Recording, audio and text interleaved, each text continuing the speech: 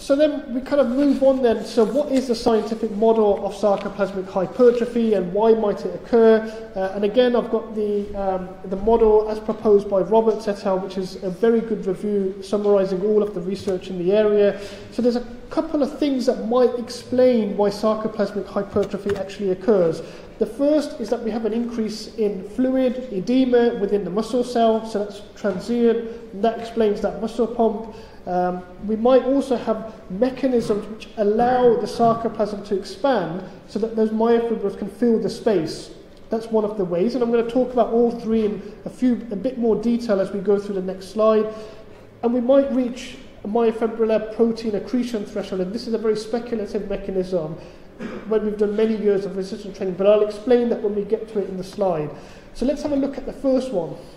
When we go to the gym, and we perform resistance training. Essentially, as we do eccentric movements, eccentric movements are when we're lengthening the muscle under tension. So if I'm doing a bicep curl, as I lift, I'm doing a concentric contraction, but as I lower it, that's an eccentric contraction and my muscle is under load and it's causing damage to my myofibers, which then starts this whole process of repair. So when we get this trauma, what happens is that the blood flowing in the capillaries enables the protein, the amino acids to go into the, the interstitium, into the, to, to the actual muscle cell, and it also allows fluid ions, electrolytes to move into the muscle cell as well.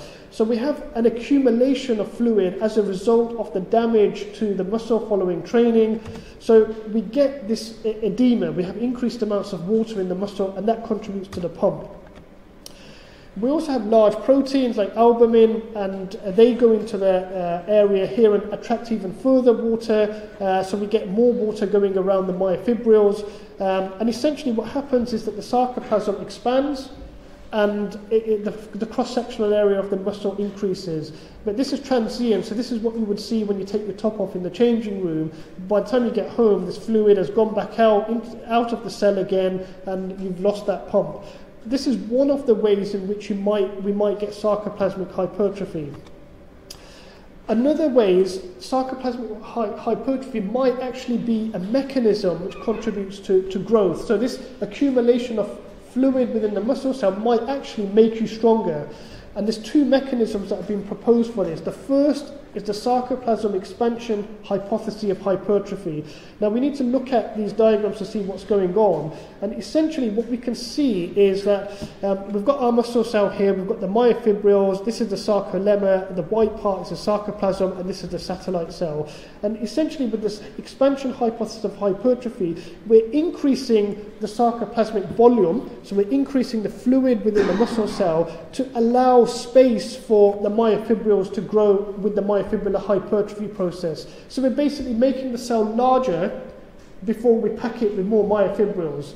That's one explanation for why we might get fluid into the muscle as a result of training. Okay, um, and then obviously as you get the triggering, uh, sorry, as the sarcolemma expands, it triggers the satellite cells. They become activated, and that's when we get the myofibrillar protein. So you go to the gym, you get an accumulation of fluid. That fluid pushes the sarcolemma wall, uh, expands it. The expansion of the wall activates the satellite cells, which enables the growth of new myofibrils. And so you're creating the space for the myofibril. And that's why it's called the sarcoplasm expansion hypothesis hypertrophy. So that's one way in which the fluid might actually be contributing to an increase in strength.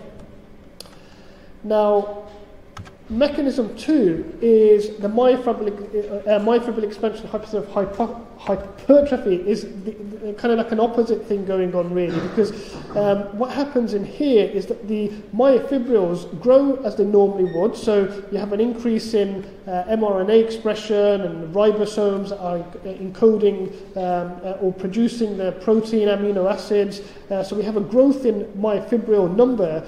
And what they do is they pack into the very the small muscle area and they push the sarcolemma wall outwards.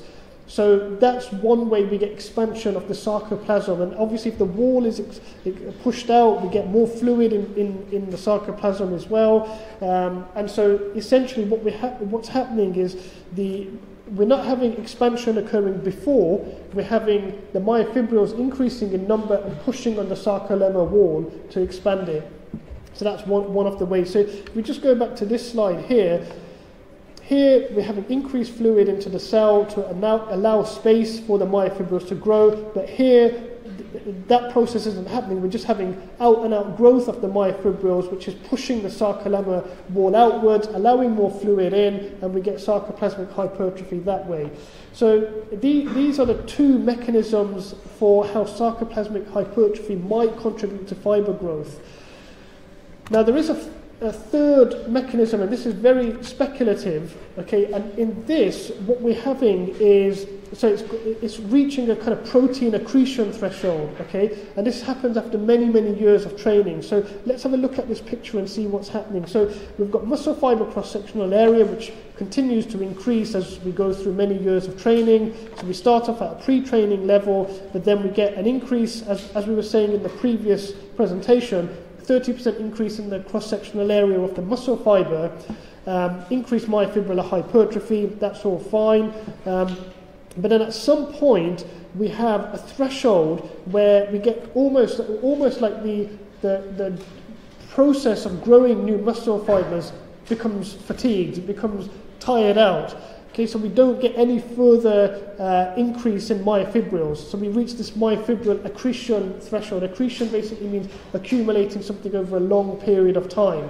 Okay, so we reach this, we might reach this threshold, and then any further hypertrophy that we get in the muscle is due to an increase in fluid into the sarcoplasm. Okay, so it might be that you know after many many years of training, we reach our maximum in terms of how much myofibrillar hypertrophy we can get. We then get stress on all of the factors that are involved in myofibrillar hypertrophy, and then any further increase in size is due to um, uh, sarcoplasmic hypertrophy.